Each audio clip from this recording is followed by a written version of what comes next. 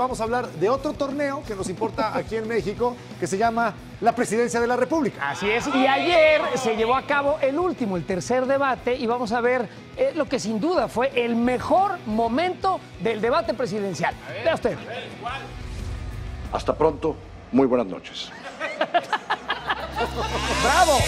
¡Bravo! Yo ahí me paré y aplaudí. Se acabó esta basura, eso fue lo que pensó un servidor. Lo que sí me sorprendió fue ver al perro Bermúdez de moderador No, del debate. no seas así, no era el perro Bermúdez, ¿No? era la de Sague con lentes.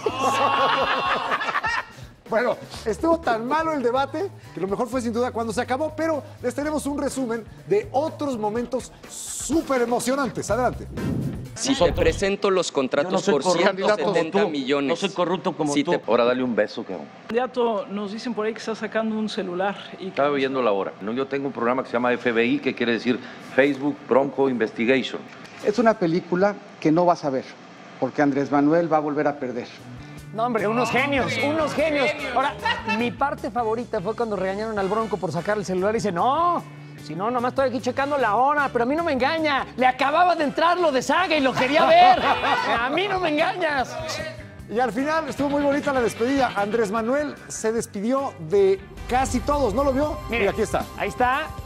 Le da vemos. la mano a uno. Le- no le niega la mano a mí. No, no, no, no, no, muy Luego va con Leonardo Curcio también. Después, el Bronco Leonardo Curcio. Hasta el floor manager le da la mano, cosa que yo Y la nunca he neta, hecho. ¿quién le da la mano al floor manager? Sí, qué O sea, horror. qué asco. A- al perro Bermúdez. Y cuando le tocaba a Naya, mira. Le dice, mira, ¿tú por qué no así? Sí.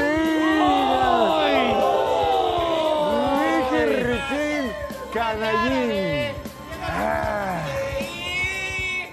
Al final Andrés Manuel se despidió de todos menos de Anaya.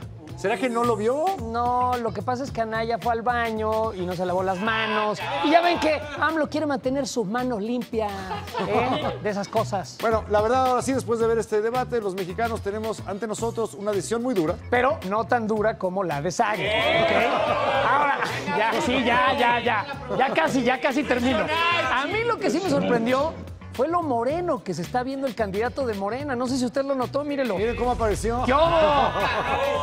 Bueno, a mí Sí. se me hace que Andrés Manuel ya está tan en sintonía con el sentir de los mexicanos que está obsesionado también con la serie de Luismi. Con razón quería ir de guayabera, seguro estaba todo ardido de la espalda. ¿Me da comezón? ¿Me la rascas? Ese es el no, de ¿No? momento no. ¿Seguro? Pero ese es el famoso bronceado tabasqueño. ¿Cómo que es ese? rojo de todos lados menos de leño. Es importante, ¿eh? Que ahí no llegue el sol. Tenga cuidado. Bueno, eh, ese bronceado es porque el sol brillaba más duro a él, que está en la cima de las encuestas. Le pega más fuerte. Entonces lo quema más. Quema más ahí arriba. Y cada vez que veía a Naya y hablo pelear, en mi cabeza sonaba 40 y 20. Ahora, lo mejor de todo es ver a un candidato consciente de su realidad y que sabe que va a ganar. Mire usted, vea. Has llegado a la cúspide máxima de tu carrera. Deja tú ser presidente, eso es para putos. Por eso voy a ganar. Oye, pero no está mal. Espérense, es progresista. Sería el primer presidente abiertamente gay. No está mal. Eso es cierto. ¿Qué importa? Lunes a viernes, 11:15 pm. Participa en Imagen Televisión.